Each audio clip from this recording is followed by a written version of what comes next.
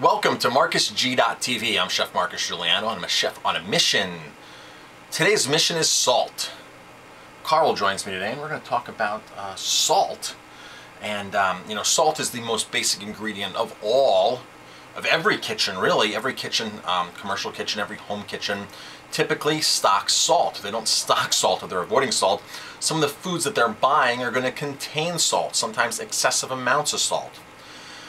As a fan of pure, real, and natural food, um, I've always sought out the best salts. And Carl, there's a lot of good salt out there. There's definitely a great array of beautifully done salts like sel de mer, which comes from France, and uh, the Celtic sea salt. These are salts that are hand raked into small pools, sun dried, stacked, and then shoveled and then packaged and brought to you. The nice thing about those salts is that they have a nice balance of minerals in them because they're coming from the sea and our bodies, whether you know it or not, are really an ocean. Uh, and the mineral profile in our uh, body fluid is very much like seawater. So there is really great nutritional value in a salt like that as opposed to an iodized salt. Right, as opposed to run-of-the-mill table salt, run-of-the-mill kosher salt, and even sometimes run-of-the-mill sea salt. This is the tricky part. All salt basically came from the sea to begin with. Am I correct, Carl? Absolutely. So they can say that any salt is sea salt. Really the difference is the processing methods of the salt and the location of which where they're getting or harvesting the salt. Right. So that's the main difference. Now, I've been a promoter of Himalayan salt for years. We use Himalayan salt at the restaurant, but we also use the bulk of our restaurant, we also use um, Redmond real salt from the Utah Flats.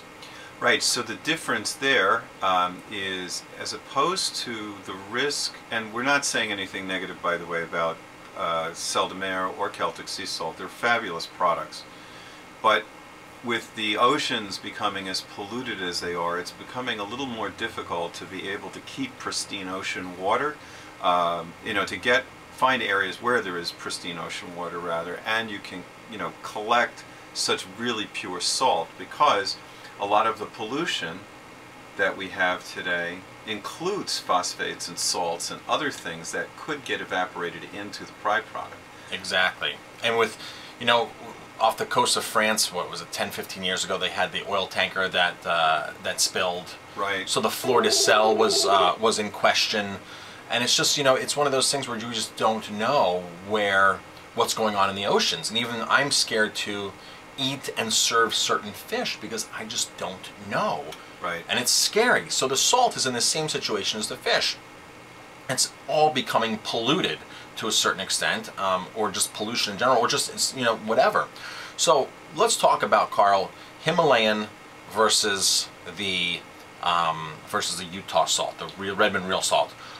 What's what are the, the, the similarities in those salts? Well, first of all, they're mined, and that's a good thing in this sense because the ocean that it had come from is now evaporated, and the water is long gone now, and you have these isolated pockets of pristine, clean salt from a time when there was no pollution. Key. Landlocked, been landlocked for years, way before pollution, way before industrial. Exactly. Way, way before Columbus set sail, they've been long, landlocked. And then you have uh, the ability now to mine these salts as Redmond does, for instance. And what's nice, you're buying a U.S. product, mined here, packaged here, quality of labor, a whole bunch of other things that go along with the purity of the product itself. And I, certainly, I know our guests really enjoy the salt they ask Right. to buy it, and you enjoy cooking with it, of course. So now the key there, another key, Carl, to that is they're independently owned. Right. We've actually met, I've actually met the people who own the mine that the salt comes out of. Now, if I'm not, correct me if I'm wrong, but I believe over 21 owners, or 21, there's over 21 mines in the actual uh, Himalayas. Yes, there are multiple mines. Through Pakistan, correct? Yes, exactly. So multiple mines. Some of them are doing a better job than others, I'm sure, right? Yes. Just as just as with any industry, um, especially the agricultural industry, the food production industry.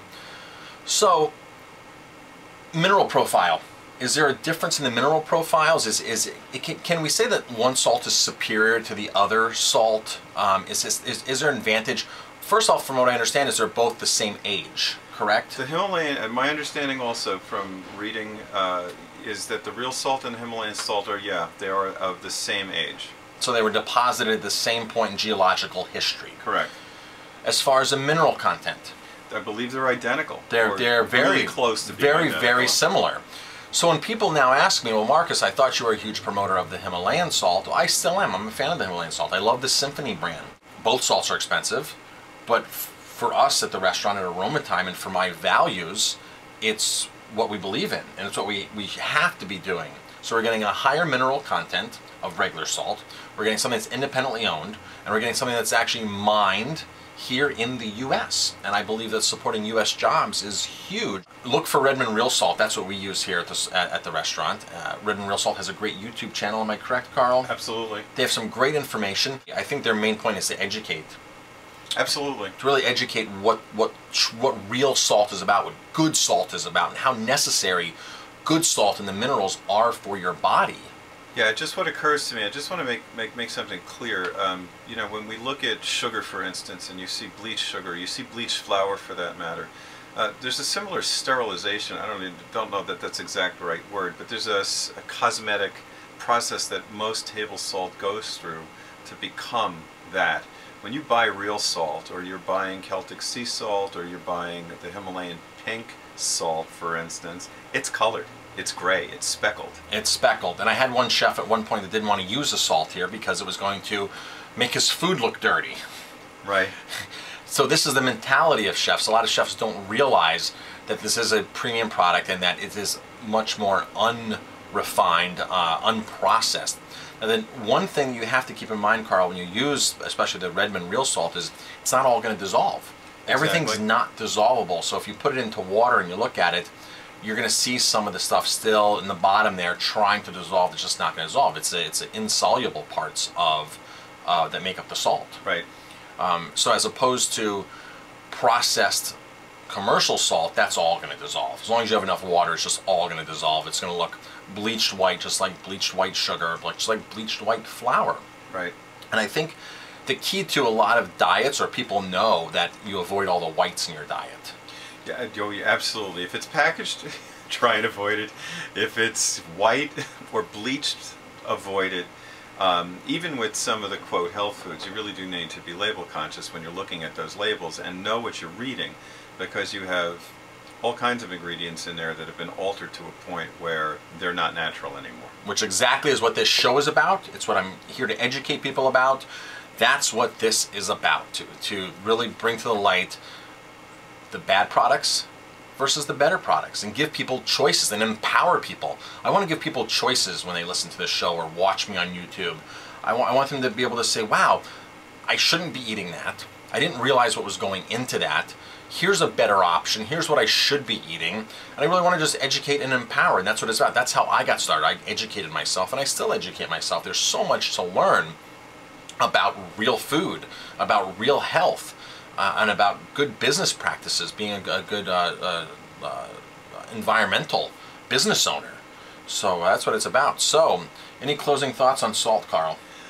No, except that it's not as bad. It has not been given a really bad rap over the years. As I said, our bodies internally, the body fluid is a balance like the sea, like seawater. We are an ocean inside, and we do require uh, the. We need to replace the minerals that we lose, and one way of doing that is through using uh, a really good salt, of course, in moderation, like everything. Now, I like to reference people to Robert Young, who wrote the pH Miracle. He has some great, great work out there on why your body needs salt, and he actually has a sole or a salt supplement out there that it's a concentrated salt that you put into water and you drink. You can make it yourself. It's easy. You take salt, put it in a jar, good high quality salt that we're talking about. Put it in a glass jar in the window, and you keep it half filled with salt at all times, which means it can't dissolve more into the water. So it's a very high concentration. You take a teaspoon of that or half a teaspoon and put it in a full cup of water. And you drink that. And that provides you with minerals, electrolytes, it provides your body with a lot of good things. It's not you're not drinking seawater. A lot of people say, "Oh, you're drinking seawater. You're drinking seawater." This is totally different. You're not sitting there drinking a gallon of this. You're drinking a very small amount uh, in a concentrated form. And I suggest if you want the in and outs of the medical side of it, that you check out Robert Young's book, The pH Miracle. check out his website. He has some really, really great work on, on salt in the body. And he explains it, Carl, that a, a woman cannot get pregnant unless they have a 1 to 2% Soleil salt solution in the womb. That we're actually conceived in salt. We're, we're brought to this world in salt. So then all of a sudden, we try to avoid salt. But yes, you want to avoid the highly processed salt. Exactly. You want to avoid that, and it's all over restaurants. It's all over food. It's in, it's it's everywhere. So you have to. I take my own salt to a restaurant, Carl. I ask them not to salt the food, and I want to use my own salt. And I know a lot, a lot of people that are doing that more and more these days. Yeah, and I tend, I, I like you, if I don't, don't have salt with me, which I haven't been carrying lately, I definitely don't seek to salt more. I avoid now the white salt shaker like the plague. Now, talking about my run, I'm trying something new today, Carl. I juiced a full beet and I mixed it with fresh coconut water. I cracked the coconut water. Oh, I heard this tip from Gary Null on his podcast. Um, it's basically an electrolyte solution uh, to replace salts, to replace energy. Uh, he went on in depth and really got technical on what the beet does, what the coconut does, and he said 50 50. Uh, drink about a cup of it and uh, go do some endurance. So that's what I'm gonna do. I'm gonna go run up the mountain out here, Carl. And I just finished drinking that. It was probably a full 12 ounces. Excellent. So I'm gonna I'll report back on this show and uh, let people know what exactly how I felt because I, I like to experiment and I'd like to be able to know how I feel before and after something and the only way you know is, is if you try it. And I know how I feel on the standard American diet. I know how I feel if I eat meat. I know how I feel if I eat french fries.